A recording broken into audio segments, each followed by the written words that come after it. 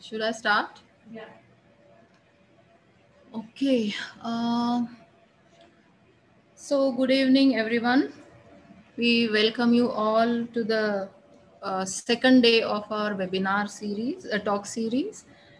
Um, we are grateful that you all have joined us from uh, for this three-day webinar from different parts of the world, so to speak, from about 20, 25 countries around the world and from a number of universities and colleges across India. So we are very happy. Um, in a real sense, this has become an international webinar. Um, I welcome you all on behalf of the Department of Germanic Studies, the English and Foreign Languages uh, University from Hyderabad in India. We are extremely grateful to our Honorable Vice Chancellor for allowing us to hold this seminar and uh, also to uh, organize this series of talks as an international webinar. We also thank the technical team at EFLU. Um, we've had heavy rains in Hyderabad uh, since almost 48 hours now, and we have a massive power cut. Uh, almost 15 year, 15 hours. It uh, it was uh, there was no power, so in case like we are running now on a generator and in case things go wrong, I'm keeping my fingers crossed. But in case suddenly we vanish, um, I hope you all will understand. So um, I would like to start now by introducing our um, speaker of the day. I welcome Professor Frederica Middelhoff.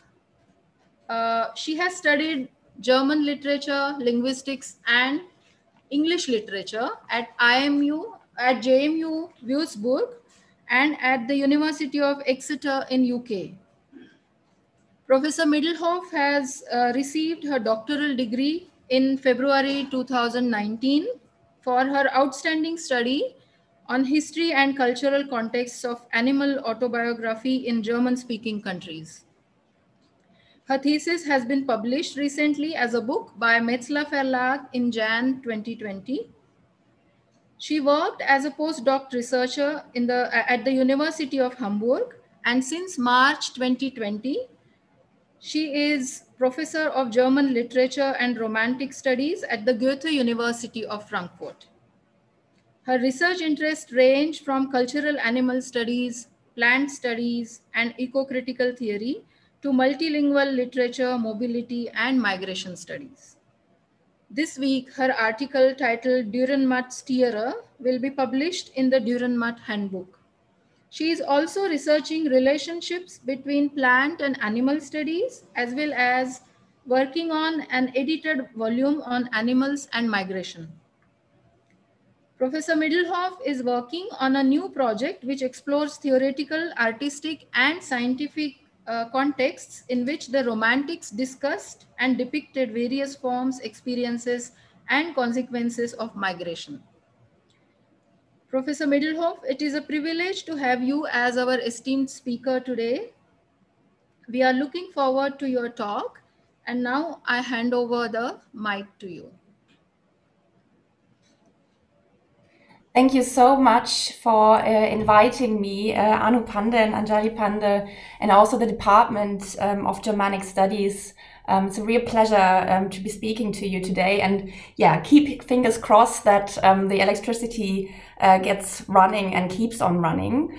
Um, my talk today quite nicely fits in with uh, Roland Borgards' on Monday because I will be uh, concerned with cats as well. Um, but I'm going to be going a bit um, further back in time to uh, E.T.A. Hoffmann's um, Tomcat Murr.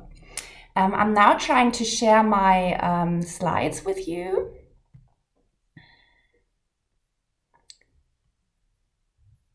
So this is the title of my talk. You've already seen um, it um, being announced and I'm just diving in um, right away. If um, my microphone is not working for some uh, reason, please just interrupt um, and let me know what I can do. Okay, so texts giving voice and face to animals by narrating their lives and representing their experiences from a first person perspective have been part of Western literary history, and this is what I'm concerned with today, and simultaneously dismissed from these canons for more than 200 years. It comes as no surprise that we find companion animals, especially horses, dogs, and cats, the most popular species to feature as life narrating subjects.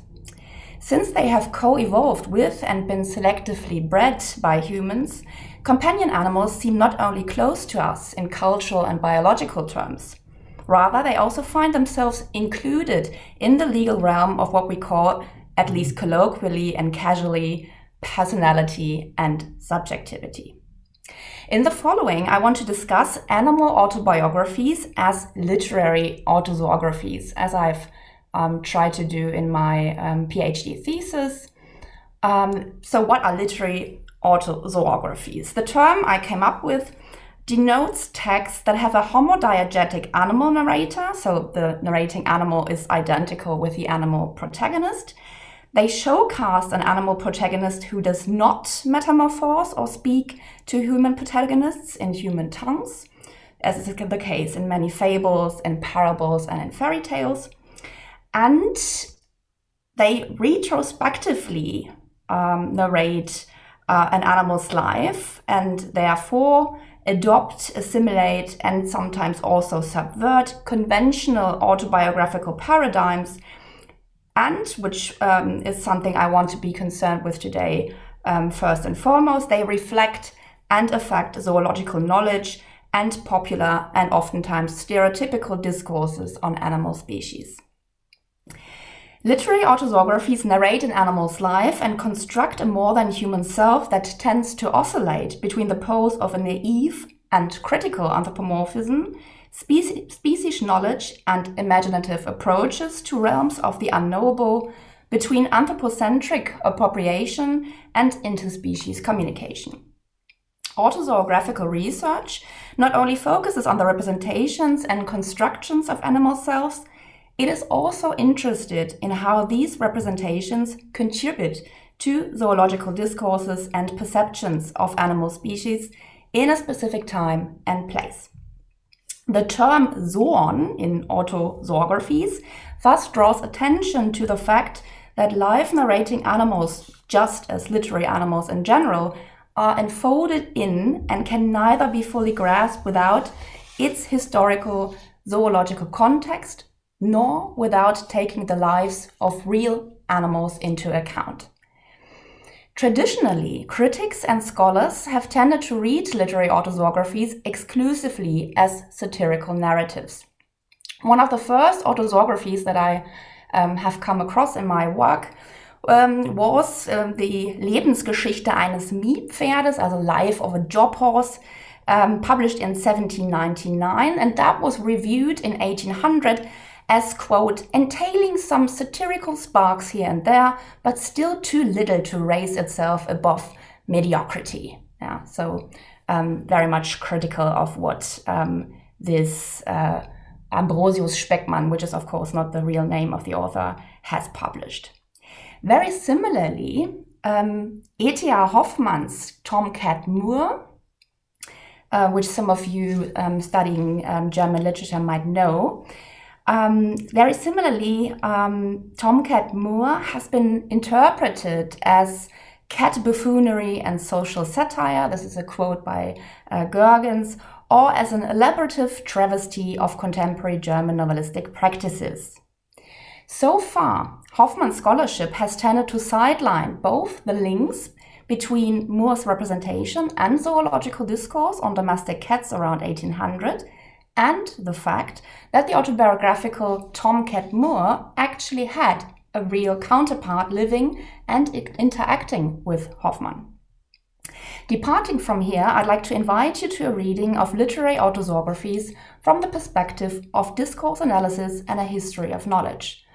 What I'm trying to show is how literary representations of autozoographical animals depend on, deflect, reflect, and participate in zoological discourse, and how they can be seen to challenge and modify beliefs and knowledges regarding specific animal species.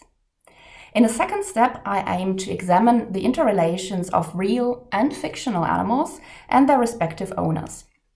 Taking E.T.A. Hoffmann's feline autozoography as an example, I want to demonstrate that literary autozoographies not only negotiate and shape zoological discourse, but may also incorporate and reflect extratextual human animal relationships and thus record real animal lives.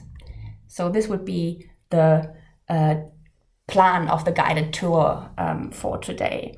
We start with um, what's at stake and what how we can theorize um, the narration of animal selves from a first per person's perspective. Live narrating animals can refer to, but do not always have, extra-textual counterparts, surely. Although it is likely that many authors were inspired to write about a specific animal known to or even living with the author, many historical narratives do not allow us to draw a connection between real and literary animals.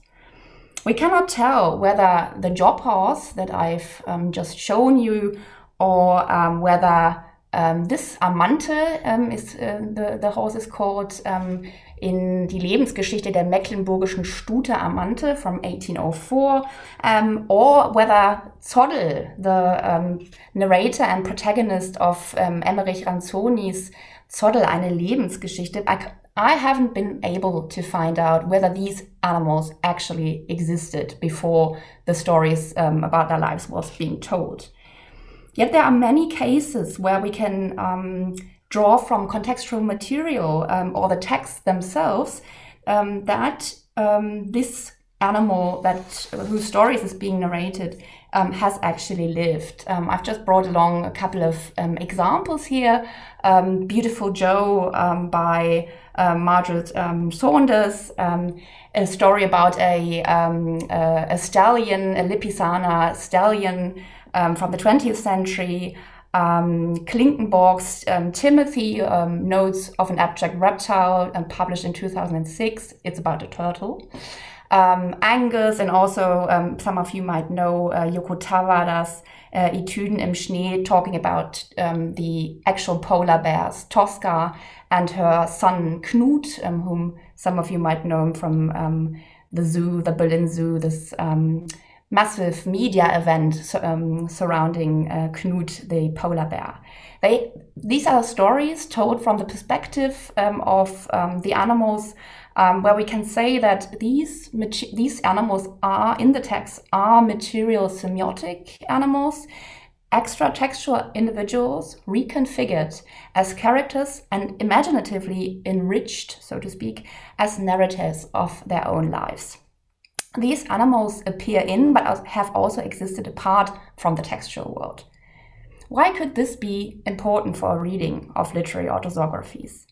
First, it can enable us to question the unilateral essentialist notion of authorship and instead, instead help us argue, at least in some cases, for notions of more than human collaborative authorship. I will, will return to this aspect in a moment. Second, recognizing and investigating the connections between real and life narrating animals provides us with a crucial means to grasp the representations of autozoographicals, uh, animals, the form of the narrative, and the functional layers of a specific text. To be sure, writers of literary autozoographies cannot relinquish their inherent epistemological anthropocentrism. Human knowledge is always subject to and limited by strictly human centric perspectives, as is human language, which renders anthropomorphism a basically inevitable um, feature in literary autozoographies.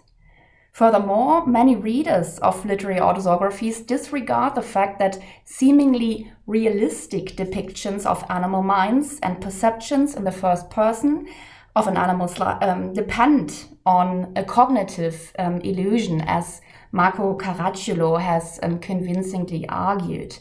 This illusion, Caracciolo, uh, writes, encourages the audience to read a representation of mind in a predominantly mimetic mode as a convincing rendering of non human experience. So, an olfactory centered canine perspective um, and uh, phenomenology, as we find in Franz Kafka's investigations of a dog, for example, can make us believe that we can embrace, through the mediation of language, a non human way of being in the world. Yet, we have to acknowledge that this is um, a, cognitive illusion at this um, point. Language, in this respect, is not um, available to the animal presented in this um, respect. Employing the first person perspective, literary autobiographies exhibit that this perspective, yeah, this first person perspective, is a necessarily anthropomorphic fictive construction. In fact, any verbal rendition of animal minds, be it in literature or in ethology, finds itself mired in this fundamental paradox. How to narrate an, an animal experience that is world is wordless, yeah, wordless, but certainly not wordless, um, wordless, voice, or speechless. Throughout recent decades, ethological research has come to acknowledge that narrative is crucial to investigate and describe non human life, realizing that each animal has its own story to tell, as Frans de Waal um, has um, written in 2005. Similarly, some autozoographical writers seem to have tried to empathetically approach an animal's perspective. It can be suggested, and this is what I do, that something akin to Kenneth Shapiro, um, um, his description um, of a kinesthetic empathy, happened in some of the poetics of literary autozoographies. Um, Shapiro um, um, features an interpretive, uh, investigative posture, a kinesthetic empathy um, at in play and at play, a corporeal and embodied interspecies engagement that aims to move into the world of animals. So, not only observing, but living and interacting with in a very um, um, emphatical sense. This Empathetic engagement, Shapiro notes, effectively, effectively develops a biographical account. Attentive to and actively engaging in the ways individual animals behave, move, and interact, some autozoographical writers, I assert, venture to invent, imagine, and reconfigure the shared spaces and interrelating lives from a non human perspective. In such accounts, animals are not excluded from, but actively participate in the making of a text as part of a multi species project, or to speak with um, Aaron Moe, a zoopoetics. When a writer, um, this is here, genau, when a writer undergoes the making process of poiesis in harmony with the gestures and vocalizations of non human animals, this is a co making, a joint venture. In this respect, we can analyze literary autozoographies as that which David Herman suggests as acts of speaking for that cross species lines, acts that can range, acts of speaking for that cross species lines, acts um, that um, can range on a continuum between butting in and chipping in. This is what um, Herman refers to um, when he talks about um, trans species um, speaking for. Um, which the one being speaking on behalf, yeah, this chipping in is speaking in favor of, speaking as a representative, speaking um, at face value, yeah, and, and at a at the same level, so to speak, and human centric butting, in, so an anthropocentric um, speaking, um, not not for, not as a representative, but um, patronizingly, speaking patronizingly. And on this kind of these two poles, like butting in, like um, speaking um, um, patronizingly and chipping in as um, speaking for, speaking as a representative, on this continuum, we can um, try to evaluate how writers engage in writing about and with cross speaking uh, or acts of cross speaking uh, for um, with other animals. So it is obvious that many um, literary autobiographies and related genres in which animals are given narrative authority fall into this butting in category, yeah, as they are concerned first and foremost with human subjects and capitalist um, ideologies, exploiting animal perspectives for voyeuristic, commercial, or political perspectives. The canine narrator, Millie, in Barbara Bush's um, Millie's book, for example, closes her account on our life at the White House with a very biased commercializing um, statement. She says, I know the Bushes love me, but they love people more, all people. So I've written this book and proceeds will go to help people, all people. I hope it will strengthen the families and family life in our great America. This is 1990, um, and of course, Barbara Bush is um, the mother of um, uh, George W. Bush. Um, she has died in 2018, I think, but um, this book is written from um, her dog's perspective um, and looking around uh, the, the White House and so sniffing out what, what happens there. Um, in these kind of um, contemporary popular posthumanist narratives, as um, Cynthia Huff and uh, Joe Haefner have uh, explained, um, these narratives appropriate species subjectivities for political and rhetorical purposes. Indeed, most literary autobiographies give us ample information about human perceptions and individual attachments to companion animals. From a historical perspective, these texts can thus be indicative of what, of what kind of capabilities, feelings, and subjective states humans attribute to companion animals in general, individual members of a species in particular, at a spe specific time and in a specific, specific cultural context. In turn, the particular cultural historical context in which a text is embedded can provide us with an epistemological framework to investigate acts of speaking for that cross species lines. In this respect, literary autobiographies can help us grasp how literature has been participating in and contributing to the knowledges, perceptions, and treatments of animals.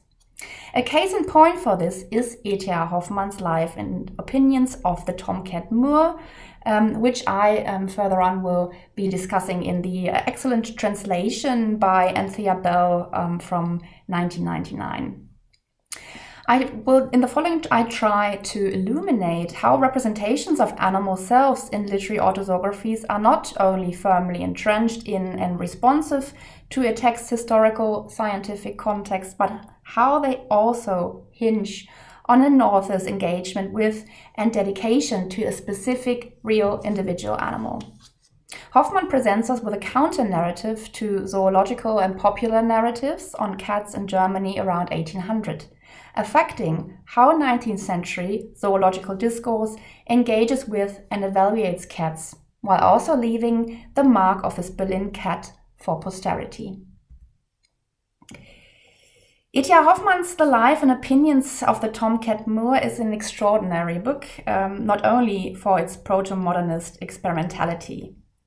The novel presents itself as a concoction of animal autobiography, human biography, and intertwining human and animal life in the story as well as in the form.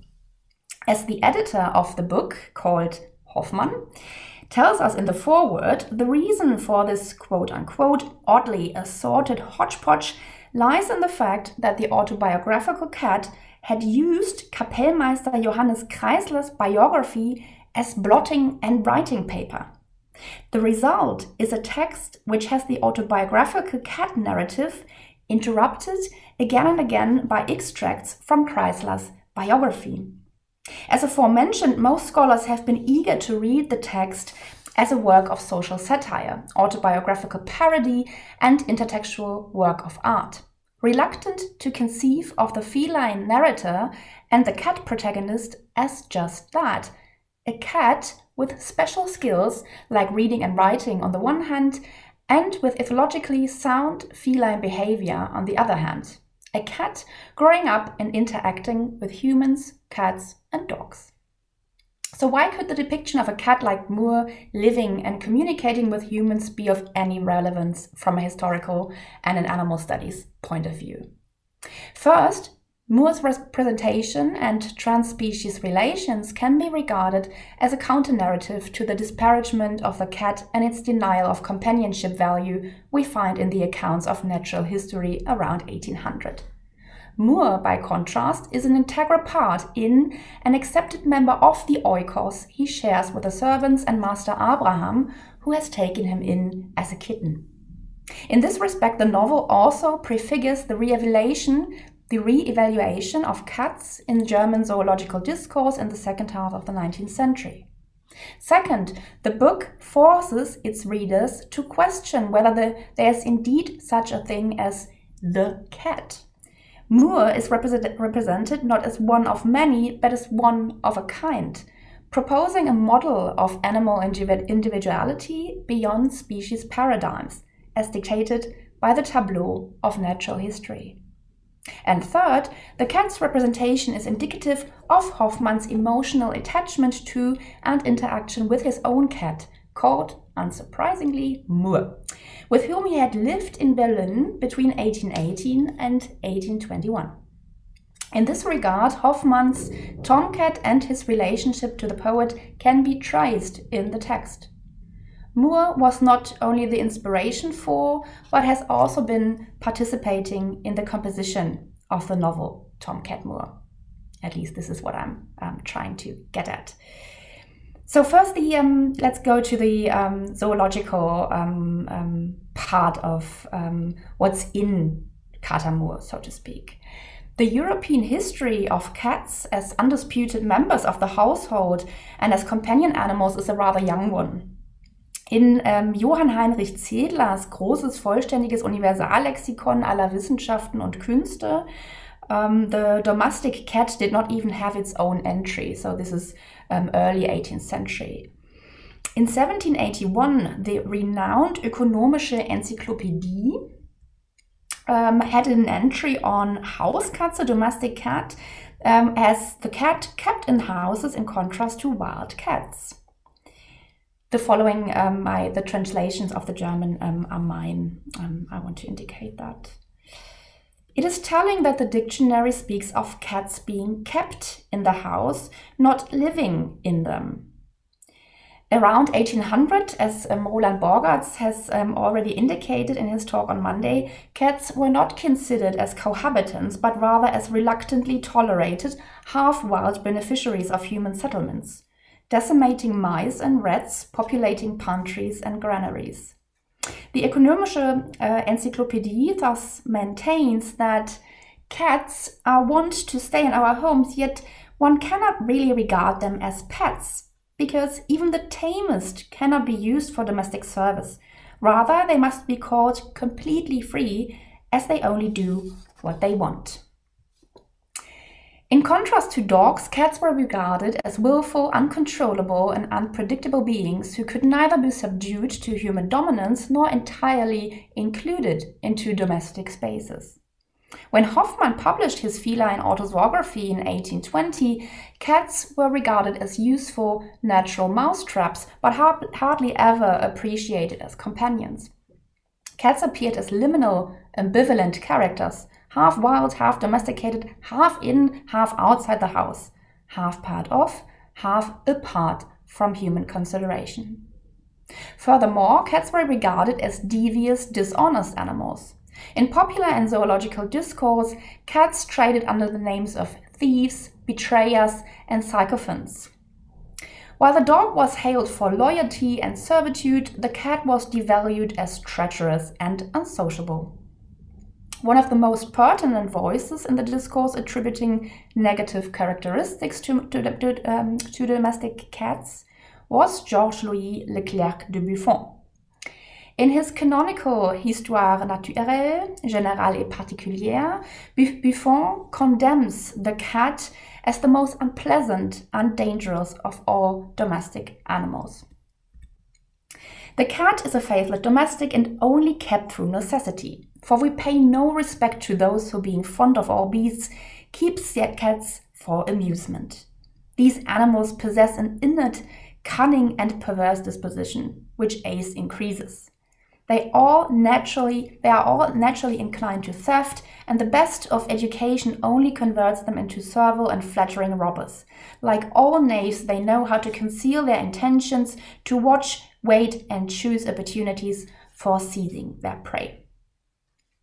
It is intriguing that Buffon ascribes capabilities and characteristics to cats which one would traditionally accept as exclusively human.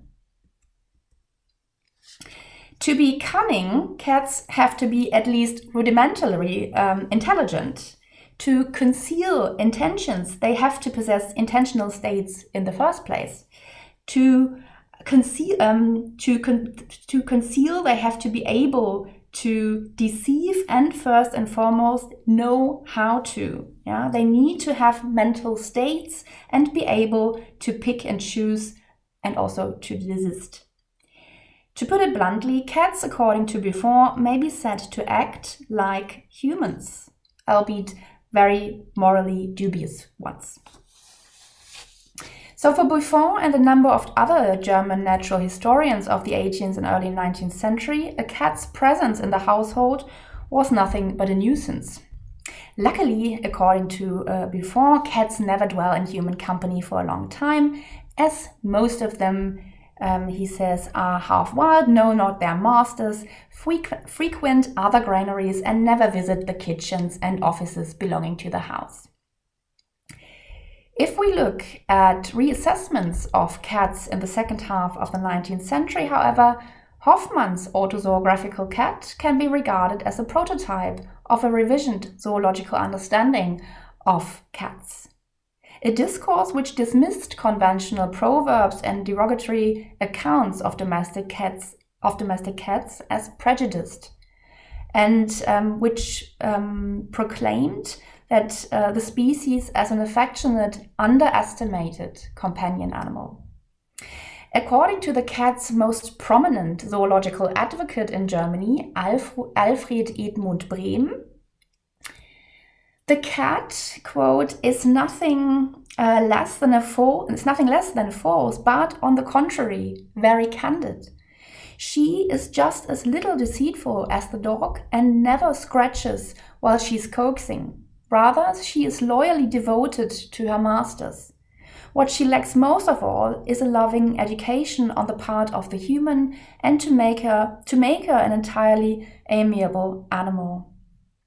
So um, Alfred Edmund Brehm um, um, has written uh, um, most of the, or one of the most popular um, natural histories of the 19th century, the um, Illustriertes um, Tierleben. So this kind of literature that Brehm, Brehm published was part and parcel of every household in the 19th century, in Germany at least. so for Brehm, the cat is a misunderstood creature in zoological discourse. So far, it has been um, scratchy, so to speak, because it has been treated in the wrong way.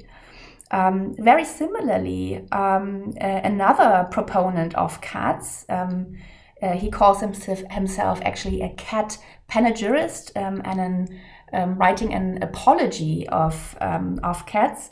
For um, this um, natural historian, um, Gustav Michel, Hoffmann's literary cat is even um, cited to support the argument that cats are clever animals. Yeah? He writes, um, Hoffmann knew how to put a lot of imagination into his tomcat, while Buffon um, and his opinions have to be regarded as sufficiently refuted by new accounts of natural scientists. So judging from Brehm and Michel, Hoffmann's autozoographical tomcat gives a more authentic, unprejudiced account of feline behavior than what can be found in the natural history books of Hoffmann's contemporaries. As a well-known text, Hoffmann's novel might not only have been ahead of its time, but can also be seen as an influential player in the revelation of cats, convincing readers of feline qualities while also shaping Brehm's and Michel's arguments. Murr is proof that Buffon is wrong. So, how does he do that? In Buffon's generic account, cats do neither attach themselves to humans nor do they ever frequent the, so- the social and working spaces within the house. The feline narrator of Tomcat Murr, however, who had been rescued from drowning and, by, and brought up by a character called um, Master Abraham, tells a very different story. Not only does this cat roam around the house from cellar to attic, Murr even goes in and out of his master's study, where he also partakes in Abraham's work. Murr tells us that Abraham was um, um, even pleased when he was working that he was um, jumping and settling down among the papers before him. And if he was studying at his desk, he would let me sit behind him on his chair. Moreover, this cat is pampered and groomed by Master Abraham, who, as Murr relates, quote, spared no pains in brushing me clean with a soft brush and then combing my fur with a little comb until it shone. Unquote.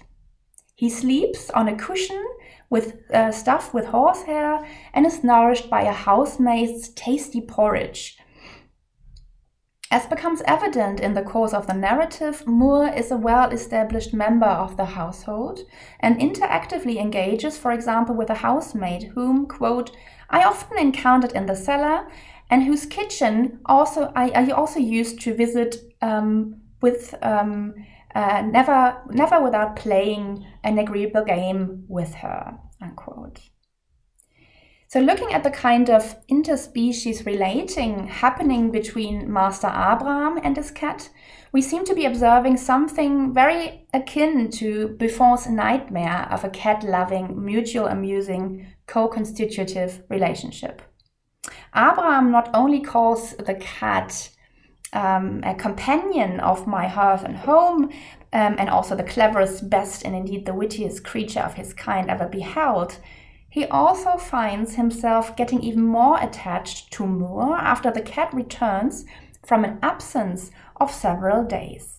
In fact, the only time Murr has left the house for a longer time um, is purely um, by accident. On the cat's return to the house, Abraham admits Quote, the good creature showed not only intelligence and understanding, but also the most faithful devotion to his master, so that I now love him more than ever. Never faithless, nor cunning, never, never scrubby, nor typically, um, as he says, like, quote, like other cross, bad tempered specimens of his kind. Hoffmann's literary cat renounces the conventional discourse on cats ringing in a new era of looking at and engaging with cats at the beginning of the 19th century. Yet Murr and Abraham do not only relate to each other in the study or by playing, um, for example, with a, a toy that Abraham um, fixes for, um, for Murr, that is a kind of stick with feathers, and um, they play together.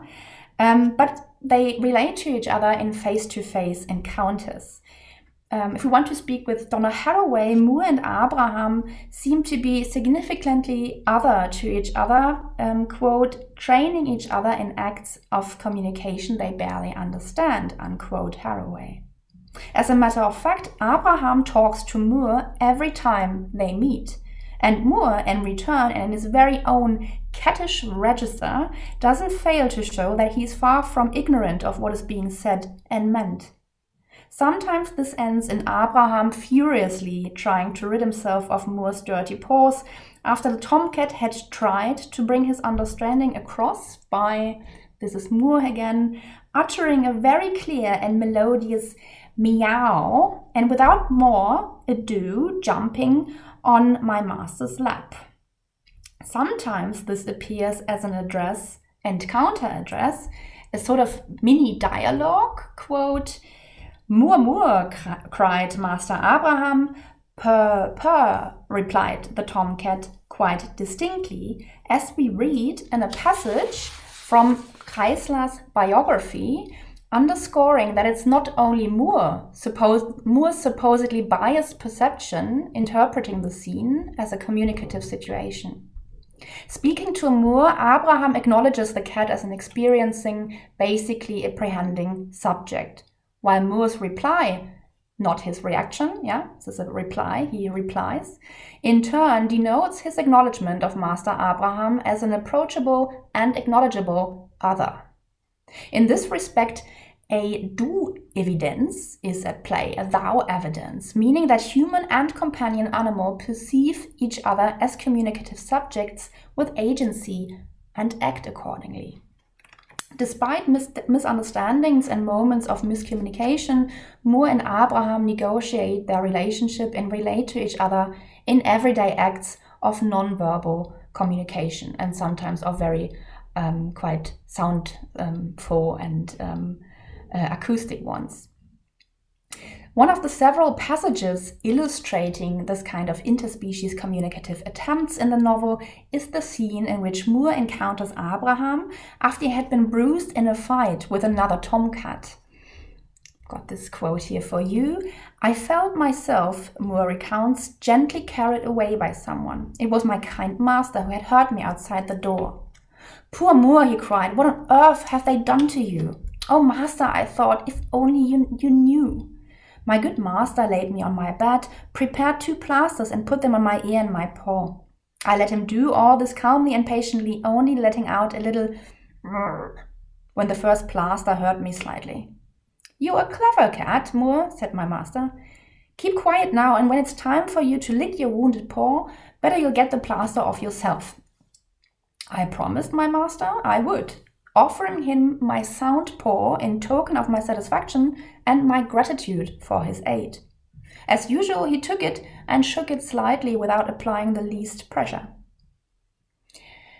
Although Murr cannot tell Abraham what has actually happened, he does not only comprehend Abraham's advice, but also communicates his understanding to Abraham non-verbally, who, in turn, acknowledges the cat's comprehension and heed of advice by shaking Murr's paw. Getting in touch and being in touch via voice and body, Murr and Abraham seem to have developed their very own routine of shaping their encounters as informal meetings, a mode of interaction building upon affect and mutual affection, reaching out across species lines. So how does um, E.T.A. Hoffmann and his own cat fit into this kind of picture?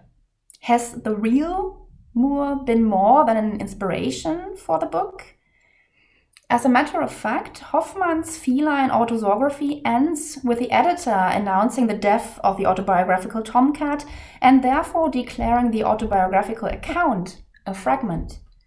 In the postscript, the editor, Hoffmann, you know, yeah, um, he records that clever, well educated, philosophical, poetical Tomcat Murr was snatched away by bitter death in the midst of a fine career. He died in the night between the 90, uh, 29th and the 30th of November after a short but severe illness, and with the calm and composure of a wise man. It was exactly during the night of the 29th of November 1821 when, after a short but severe illness, Hoffmann's very own real Tomcat Murr died after having lived with the poet in his Berlin flat for three and a half years. On the day after the cat's death, Hoffmann sent out an obituary to his closest friend, running as follows.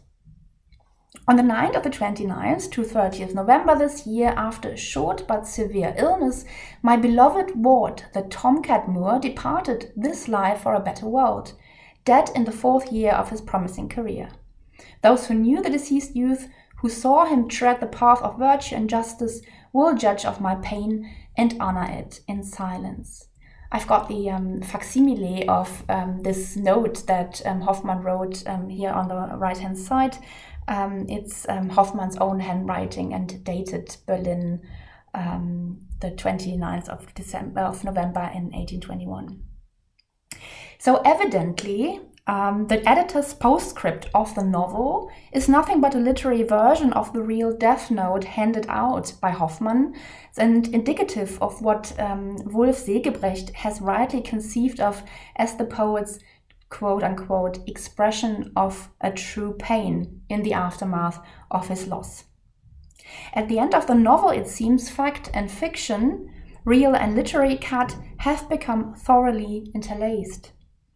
But is it just Murr's death that has been fictionalized to become part of Hoffmann's text? The bi biographical information we can gather from Hoffmann's friends and acquaintances, and first and foremost from the novel itself, suggest otherwise. The representation of Hoffmann's literary cat as a clever, unique specimen, communicating with and endearing himself to Master Abraham, who is um, Hoffmann's alter ego, rather mirrors Hoffmann's own attachment to an everyday encounter with his Berlin cat. In the letter to a friend dated uh, from May 1820, for example, Hoffmann revealed that um, a cat he wrote in this letter to um, um, to whom I've uh, whom I've brought up a tom tomcat of great beauty. His likeness is very well caught on the cover of this book, and of even greater intellect has induced him uh, had induced him to conceive the latest novel revolving around an autobiographical tomcat. So um, this um, quote and this reference in the um, letter is referring to the first uh, to this picture that was printed um, in the um, first edition of um, the um, the novel, showing um, the tomcat on the roof um, writing his autobiography. Moreover, Hoffmann's friend Hitzig affirms in his biography on Hoffmann that the poet was indeed inexhaustibly inexhaustible in relating stories about the clever. I think I've got this here. Yeah, um, so Hitzig about Hoffmann, it was inexhaustible in relating stories about the cleverness of his darling, who usually rested on the drawers of his master's desk, which he opened with with his paws all by himself. The literary cat's regular settling down on Master Abraham's desk, on which he lies down in the midst of papers, producing a sensation of, quote, indescribable delight, unquote, seems nothing but a descriptive counterpart of what Hoffmann himself was accustomed to from his own Berlin study.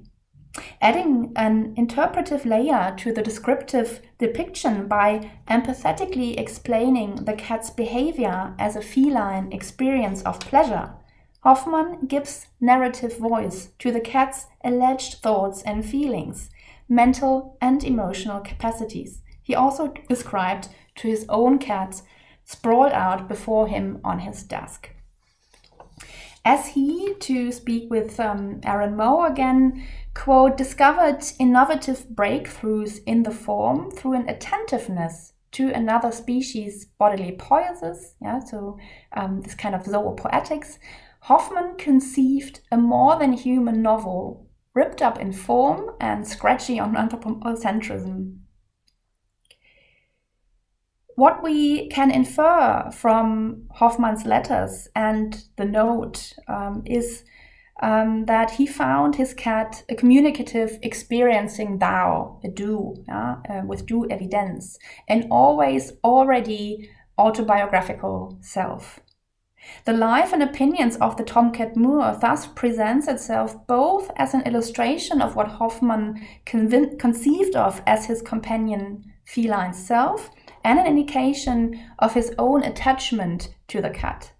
Hoffmann's novel, therefore, is much more than a mere satirical book with a cat narrator protagonist. It is a text which commemorates a feline companion and tells the story of more than human friendship.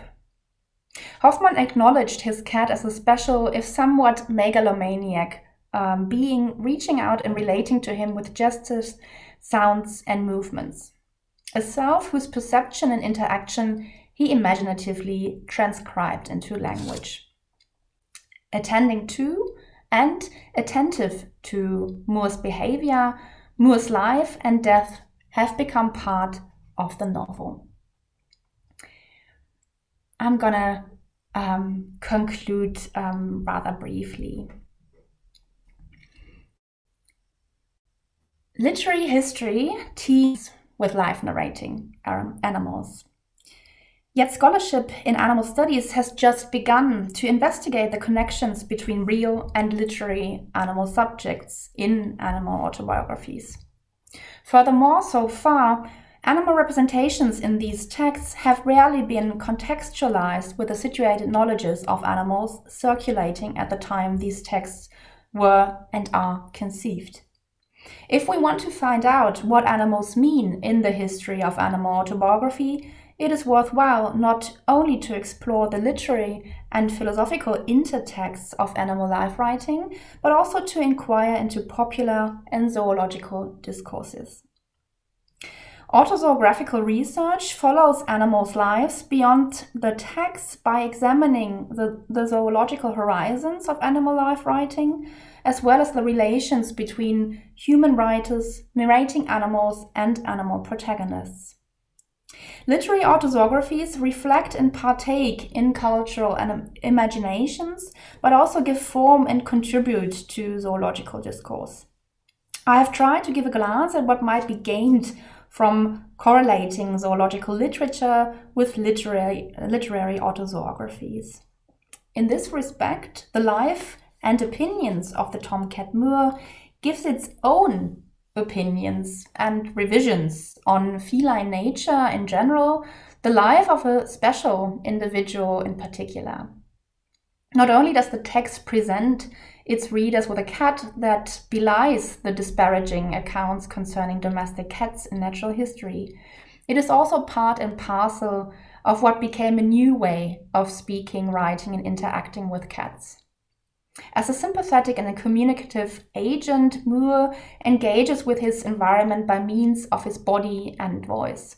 Master Abraham, in turn, acknowledges Murr as an intelligent, amiable thou, and thus manages to interact with the tomcat on a bodily and acoustic basis.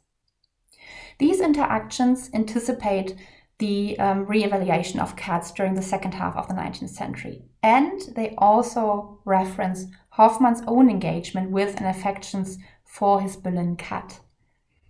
As a reading of the novel alongside documents on Hoffmann's um, uh, biography shows, Tomcat Murr and his relation to Hoffmann have been thoroughly encoded in the text. Hoffmann considered his tomcat an extraordinary and endearing companion, a feeling, thinking, and responding personality.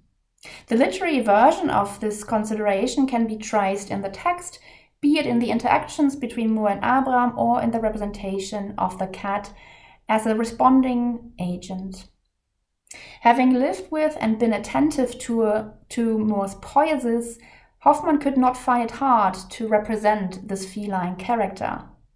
A self, yet not an entirely selfish character. Thank you very much for your attention.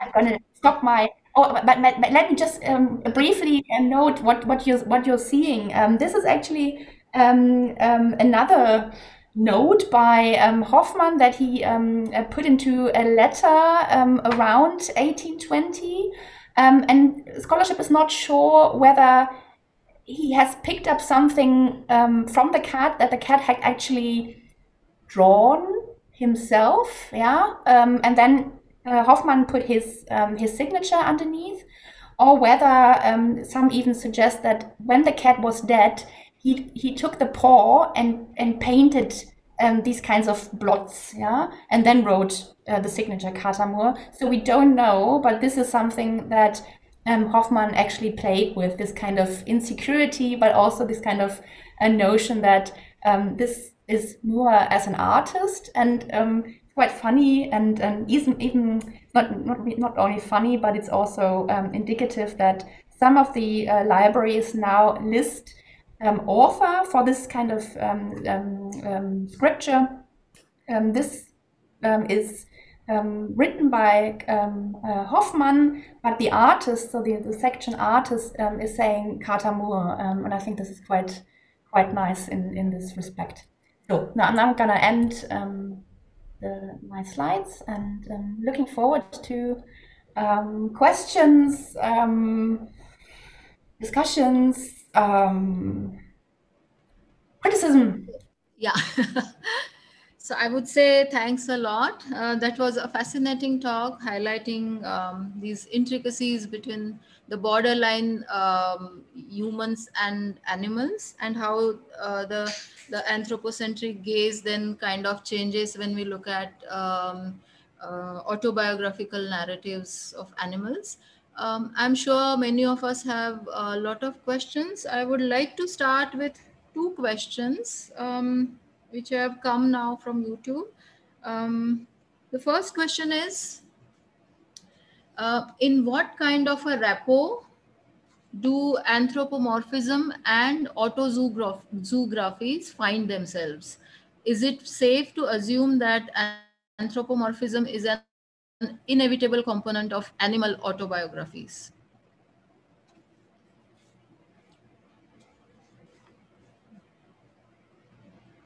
So, um, Frederica, I think you're you have to unmute. Yeah, sorry, um, classic. Um, I think this uh, very. Thank you for the um, the question. Um, this is um, still something of a um, not not debatable, but also but something that we have to think about carefully when talking about anthropomorphism, anthropocentrism, when talking about literary autozoographies. Um, of course, anthropomorphism cannot, well, is inevitable in um, if we uh, look at um, the text being text, right? I mean, as soon as um, uh, a text attaches an I, yeah, um, um, in, in language, whatever language you, you have it, um, you, you're inside of anthropomorphism. But I think what I try to, to highlight with um, the trans species acts of speaking for, there is a continuum um, on which we can um, um, classify or assess different kinds of um, speaking for. They are all, in a sense, anthropomorphic, but some of them are more anthropocentric than others. Yeah, and I think another um, distinction that I found uh, quite helpful in my um, research is the uh, difference um, between naive and reflective uh, anthropomorphism on the one hand, and between um, epistemological and an ontological anthropocentrism. The epistemological anthropocentrism is just acknowledging that we as humans cannot not think and uh, or right in other terms than being than human yeah? But um, this is not a stance that um, puts humans on top or superior to other life forms yeah? This would be the ontological anthropocentrism um, um people writing um, about or with animals to um, express superiority ontological superiority um, in in, reg in regard to to other animals. Um, and this is what um, um might be helpful to um, not say, well, this is very this is anthropomorphic rubbish, but we can actually analyze these kinds of different acts of speaking for um, that transgress species lines in human-centric, anthropocentric kind of ways of speaking, and also um, in terms of um, a moral chipping in, which um, sees animals as um, being or having their own perspective, having a life that is worth telling, um, and so on uh, and so forth. And I think this anthropomorphism um, is as soon as you you're, stuck in language. Yeah, I mean other forms of artistic research as well, and also artistic engagement with animal lives can um, eschew this kind of um, um, anthropomorphism because it's not language based, but literary literature is just um, in this respect always anthropomorph anthropomorphic. But I don't think this is a problem, or this has to be a problem, yeah. But because there are different um, approaches to narrating animal lives from a pers first person perspective. I hope this um, answered the question at least a little bit. Um, yeah, so the second question is uh, from Prashant Pandey from uh, CGS J Jawaharlal Nehru University. Um, Goethe's Faust also has animal figures. For instance, the dog following Faust from the street to his room. These animals also have their voice in this work. um, if I have understood Faust correctly. Can these animals be considered as literary animals in the context of animal studies? Um, of course, they can. Um, as soon as an animal appears um, in the text, um, we, we have we are concerned with literary animals, yeah, and of course, this kind of animal can then be interpreted um, in the context of the novel and has of course, Faust's poodle has a very specific, also anthropocentric um, um, um, notion because it, it is not an animal. Yeah, it's it's, it's something um, that transforms, and then we we learn that um, it's not actually a poodle, but the devil itself, and so on and so forth.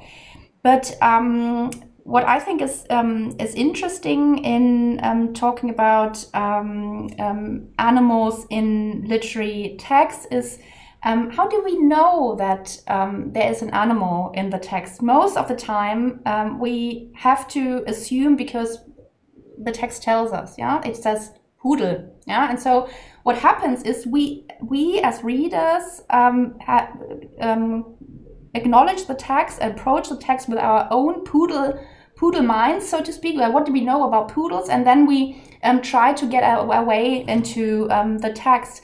And what um, animal studies tries to do is um, maybe detach us a bit from this kind of um, spontaneous um, acknowledging that this this is a poodle and this is everything we, we want to know, um, but question um, the the fact that or question how we can assume the kind of animal that we are presented with. Um, and how does this relate to historical, so Goethe's um, knowledge of poodle and the poodle in 18th century or late 18th century um, uh, society was a very different one um, than um, today.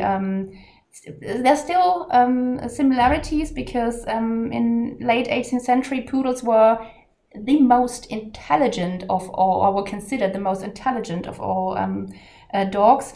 So for um, um, literary animal studies, it wouldn't be so interesting to um, to look at. Oh yeah, this is a literary animal, and um, we see that um, um, there's different uh, poodles in in in Goethe's um, in Goethe's uh,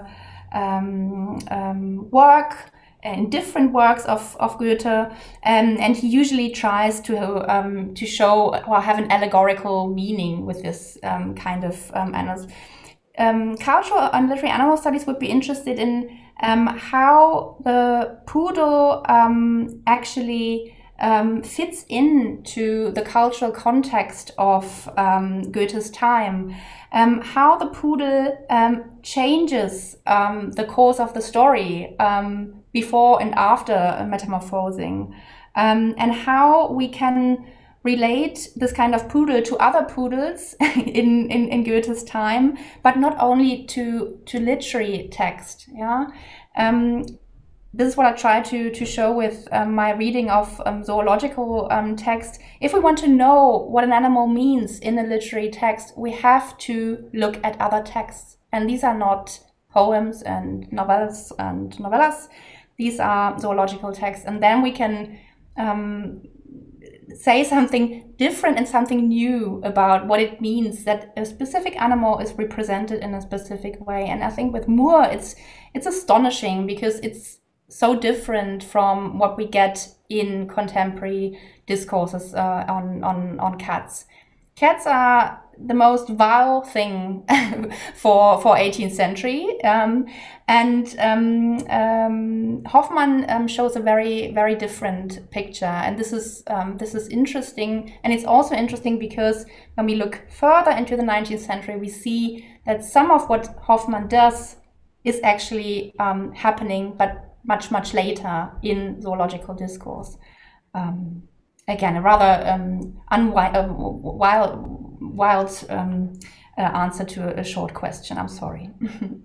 Thanks for that elaborate answer. So the next question I'm going to club uh, one from Zoom and one from uh, YouTube. On uh, Zoom, Christina has asked, uh, going off the question about Faust and circling back to you, stressing that Hoffmann saw his cat as a self, but not as selfish. How can uh, Otto Zoo biographies unsettle classic master slave hier- hierarchies, especially in German texts? And um, there is a sort of uh, related question from YouTube. Uh, Renu Krishna asks In spite of the interspecies understanding and communication between Abraham and the cat, Murr addresses Abraham as master. Doesn't that re establish anthropocentric hierarchy? Yeah, that's really, really two really good questions. I try to um, answer um, in, in in combination. Um, the Abraham um, kind um, or the master, the, the notion of master Abraham and the kind of address that um, Murr uses um, is something that the other characters do as well. So Master Abraham is basically his proper name. Yeah, so it's not only um, Murr approaching uh, Abraham as master. This is the proper noun, so to speak. So there's no there's no hierarchy in this in this kind of respect. And um, talking about hierarchies and um, um, staying with the trouble, to, to speak with um, Donna Haraway, and this is not smooth.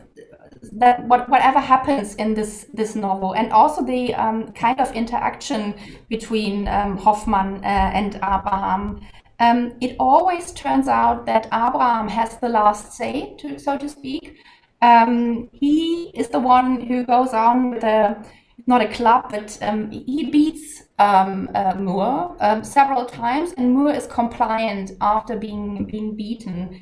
And so, what I try to to say with these kind of relating and misunderstanding, um, this there has to be. Well, we have to acknowledge that um, there is there still is um, a uh, a notion of superiority with humans in the novel. Um, when we then look at the um, the discourse and the, the, the, the, level of the narrator, this is Murr having the, the, that's Murr having the last say. Yeah, of course he says, "Well, I'm getting beaten and I'm and I'm faking that I'm I'm I'm, I'm a good." I'm a good student because I have to. Yeah, this is, this is something I have to do. Otherwise, I can't get get get far. Um, but um, on the narratorial kind of level, he has um, the last say. Um, and this is also coming back to the hierarchy and self and selfish um, distinction. Um, this is something we have to grapple with in um, um, literary autobiographies.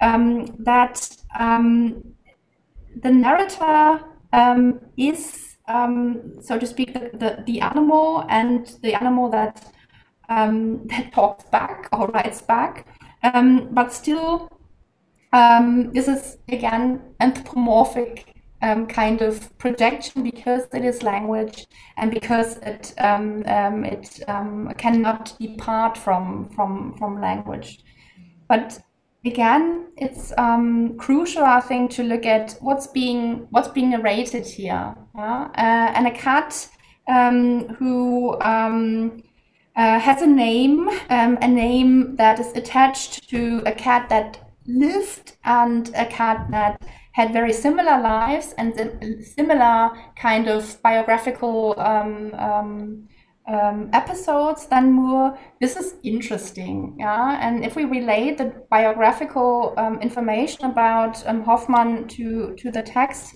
we can see um, instances in common that infers us to to see um, Kater Murr um, as um, a literary and not so literary, a material semiotic animal. So it is still language. It is an animal whose language depends on language, on human perspectives, but it but an animal who has lived and um, um, has um, been encoded in a literary text. And, I mean, now it 2020, we still talk about this this cat that lived in um, the early 19th century. I think this is astonishing.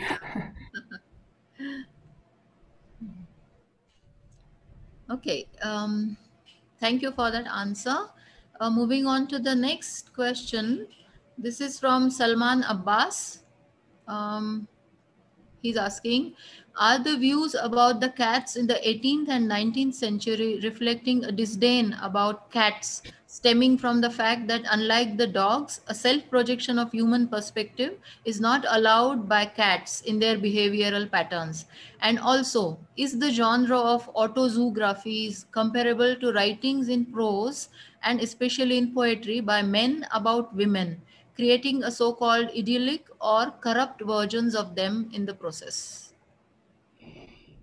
Okay, two very um, different um, questions. I think um, you're absolutely right when you say that um, uh, the disdain and the um, disparagement um, uh, of cats uh, stems from the fact that cats are not as approachable and not as kind of interactive um, as, as as dogs are. This is also what 18th century and also um, uh, um, um, a number of 19th century um, zoologists um, hate about um, cats, they don't respond. And if they respond, they scratch. Yeah.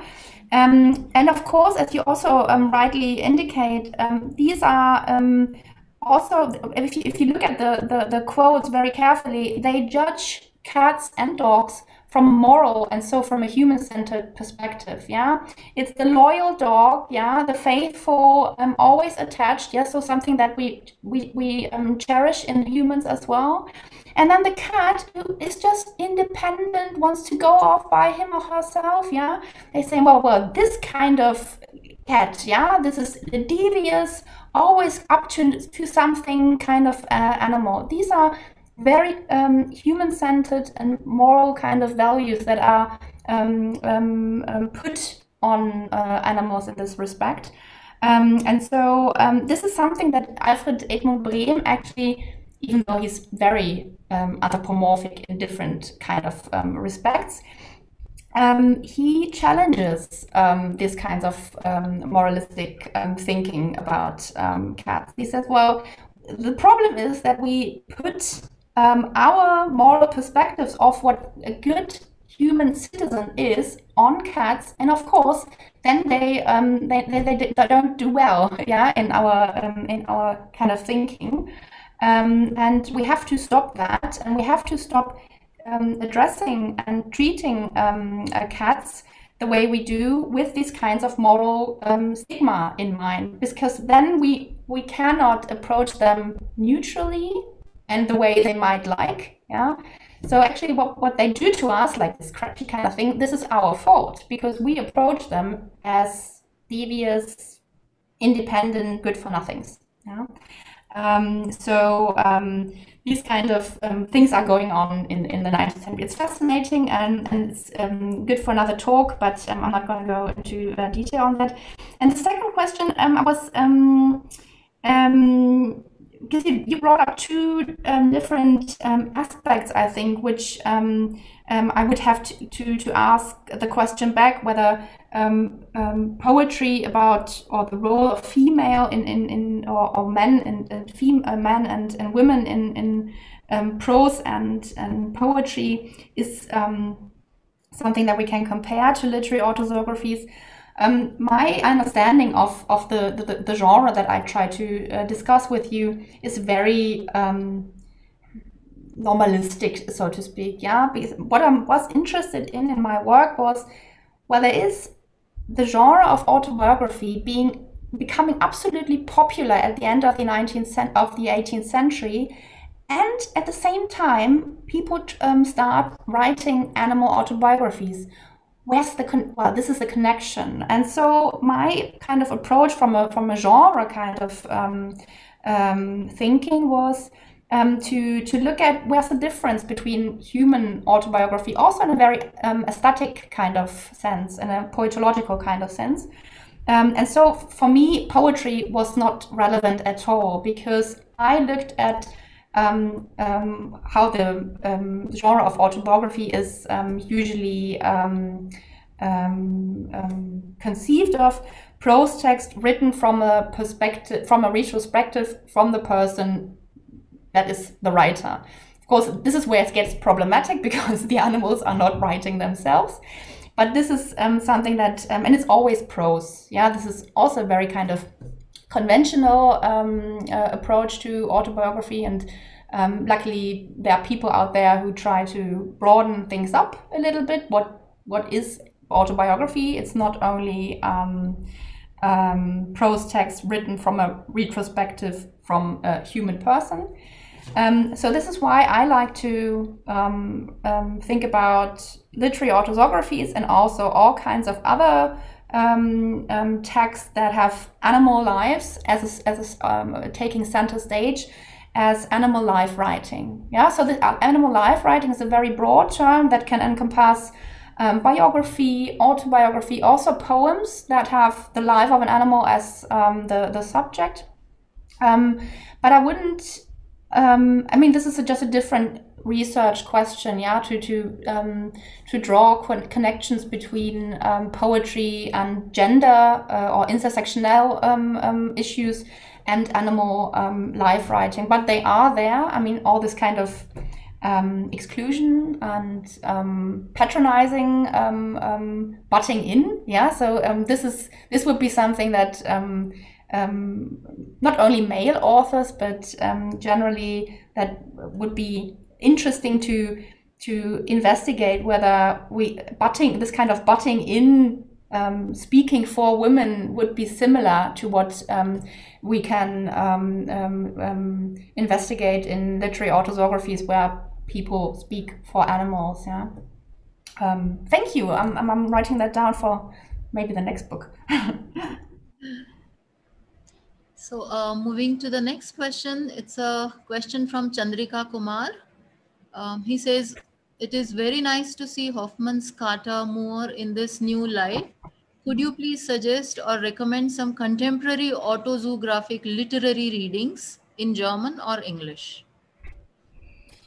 Um, I have tried to uh, at the beginning. Um, can I go into my slides again? Would that be possible? And then I can. This is, makes it more easier than. Um, yeah. Um, share the screen again. Let me see. Because yeah, my I had so many slides and this. Um, I can really recommend. Um, I don't know if I can say that on YouTube, and uh, but I, I, just do because it's my um, my personal kind of. Um, can I do this? Uh, okay, Um, I can really recommend Timothy on Notes of an Abject Reptile um, by um, Verlyn Klinkenborg, um, a New York uh, New Yorker author, um, from the New Yorker, the the, the, the, paper, the newspaper um, about uh, Timothy um, uh, tortoise that has actually existed. This is another. Uh, these are all animals that have actually um, existed. This this was my kind of telling you um, that um, this these texts are actually still written.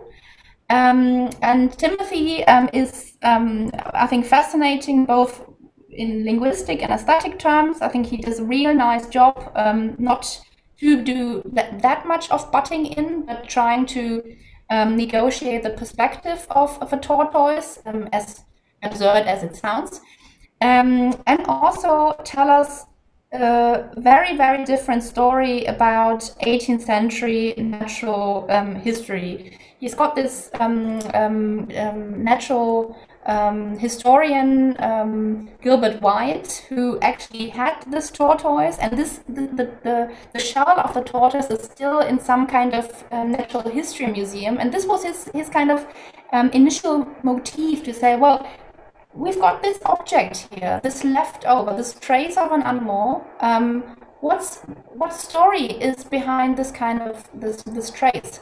And then he tried. He started digging and found out that Timothy um, the now deceased um, um, um, tortoise was living in this shell in the 18th century, and it's I think it's a fascinating book.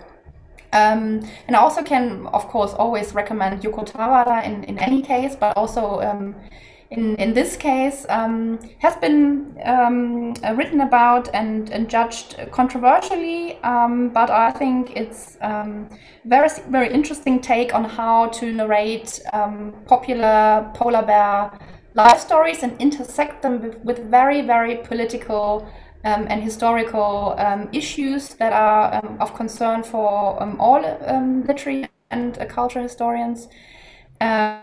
Beautiful Joe, which brings me back to the question that I was asked before, the, the question or the um, the um, interrelations between between um, animal and women life, um, um, if you um, can say so. Because Beautiful Joe is, I think, first published in 1896 or something.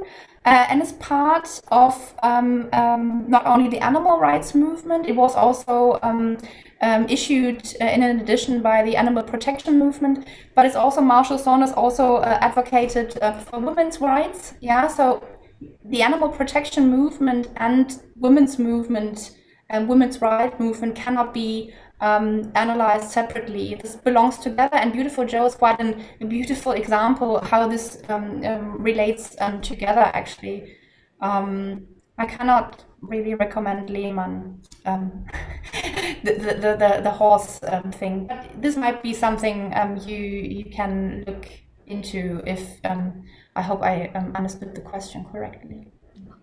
Thank you. Uh, moving quickly to the next question from Professor Babu Taliat. Um, he's asking, isn't it still important to contrast between biographical and autobiographical perspectives in the life writings of animals like cats in the context of fictional narration or representation, contrast or differentiate? Thank you so much. Yeah, of course, it is different, um, um, um, um uh, important to distinguish, and I hope I um, I um, have done so by focusing on um, autobiographical approaches. These, for me, were my kind of perspectives. I just wanted to look at um, why do people speak for animals in their kind of perspective.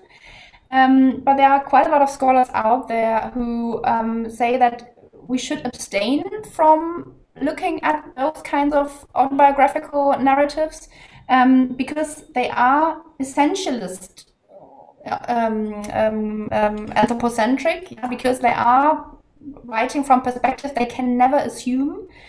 Um, so they cherish or they, they promote writing of biographical accounts. Um, but I think this from a historical kind of perspective, this is um, not um, something that we should um, engage um, with because then we um, relinquish the, the text like Hoffmann's, which can be extremely interested, uh, interesting in terms of cult, uh, history of, of knowledge and a history of um, emotions as well, attributing emotions to animals, but also um, um, showing um, emotions for animals um, by taking on their perspectives. But uh, you're absolutely right. There has to be um, a, a, distinction, but I don't think it should be a distinction on um, terms of what's what's be better in a aesthetic sense than than others the umbrella term life writing is helpful to um, to denote different kinds of um, um, writings that engage with animal lives. But of course, there has to be a differentiation between um, biography and um, autobiography, and this is what I try to do. Yeah. Sorry, I have to answer uh, more briefly. I I I. I. No, it's okay. Uh, we just have a few minutes left. I'm so I'm trying to get as many questions as we can. There's one question from YouTube uh, from uh, Alvin Alexander. He says the last slide reminds one again of the psychic imaginal nature of animals in a Freudian sense, don't you think? Can you can you read the last and the, what was before the Freudian sense? He says the last slide reminds yeah. us again of the psychic imaginal nature of animals in a Freudian sense. So the the last slide which you presented. Yeah, yeah, yeah. I, I guess with the with the um, um, signature um, and the, um, the Murr as an artist. Yeah. Um, yeah, I think you can. I mean, all the different of uh, the, the the reading of. Um, um, psychoanalysis in um, depicting and representing animals is, is uh, valuable thing to do but i'm i'm not really i'm just not interested in this kind of um, reading because the um, the problem I think with this kind of uh, reading is it it again brings us back to humans writing um, um, these kinds of um, of texts and um, projecting themselves into the roles of animals.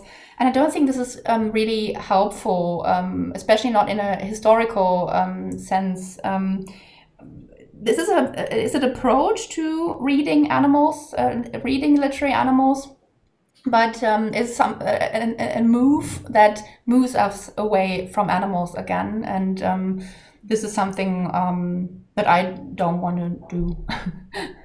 but thank you very much for the suggestion. I hadn't thought about it, the, actually. Yeah.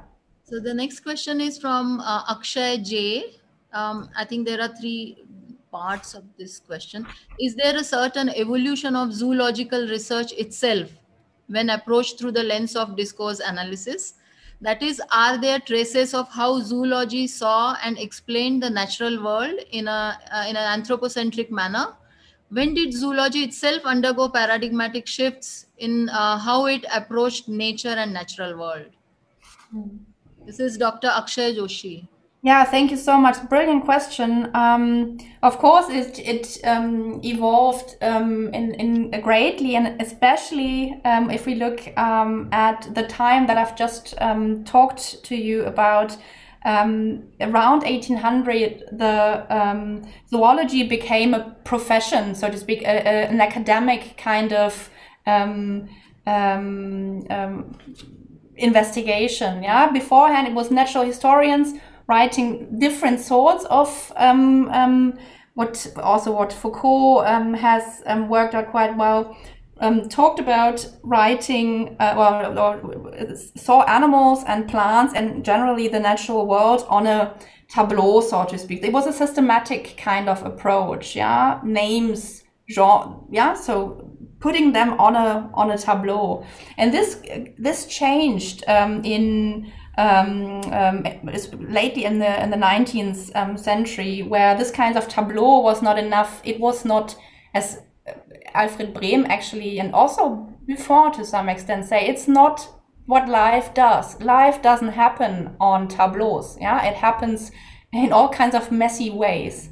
Um, and um, they try to approach um, animals from um, real perspectives, which were again anthropocentric in some some senses. But um, I think it's when you compare Alfred Edmund Brehm and if you look into um, the Illustriertes Tierleben and compare that to um, 18th or early 18th century natural histories, there's a big big difference in how you talk about animals, and this has also to do with the fact that um, with the 19th century, we start, or, in, at least in, in, in Western um, context, um, there is um, an attribute, um, well, people um, start attributing emotions, sentiments, and also sometimes cognitive abilities to animals, which was something of an unheard of before. Only um, humans had souls and reason. Yeah, this becomes challenged in the 19th century, and then it, it gets in, in Brehm it gets a bit crazy. Yeah, um, it's just it's many many people that he's depicting. Yeah. Um, but from a cultural perspective, this is this is absolutely fascinating um, because it's very similar to what literary autozoographies do. They talk about, natural historians start talking about animals as having selves, as having perspectives, as being able to remember, and um, as being able to express themselves. These are all um, features that animal autozoographies have as well. Um, and so there's this this connection which I was really interested in my my work. Yeah, P people writing from a first person animal perspective, and at the same time this is what um, natural history and zoology does as well. Not from the first person perspective, but they attribute the same values on animals. And I see that this this is all adding up to new perceptions of animals in zoology, but also in um, culture and literary history. Thank you. Um, so we have still a couple of questions which unfortunately we cannot take up now maybe uh, if if if you if there are really urgent questions that people need to ask because and we can't do this now please write me an email. Um, i hope everyone um, has um, seen my my um, my email address. I mean you can just you google me um, i'm um, I'm out there, um, and um, I'm happy to to respond to your emails. Maybe not tonight, maybe by the end of the week, um, but I'm happy to take on um, um, questions. Thank you. So I would request uh, Raji Nair, Priyada, and I think a few other people who have asked questions to uh, forward them to Frederike, Professor Middelhoff, and she'll answer them if she has time. so um, with that, I would like to wind up this uh, today's session. Um, thanks a lot, Professor Middelhoff. It was enlightening, and I'm sure uh, all of us have uh, taken a lot uh, away from this session today. And uh, in spite of the difficulties of not having um, electricity and all of that, finally we managed to have the session. So thank, thank you Thank you very much for joining from Germany and all the participants from um, different countries and all around India. I wish you all a very nice evening and uh, a safe day ahead. Thank you so much, everyone. Bye-bye.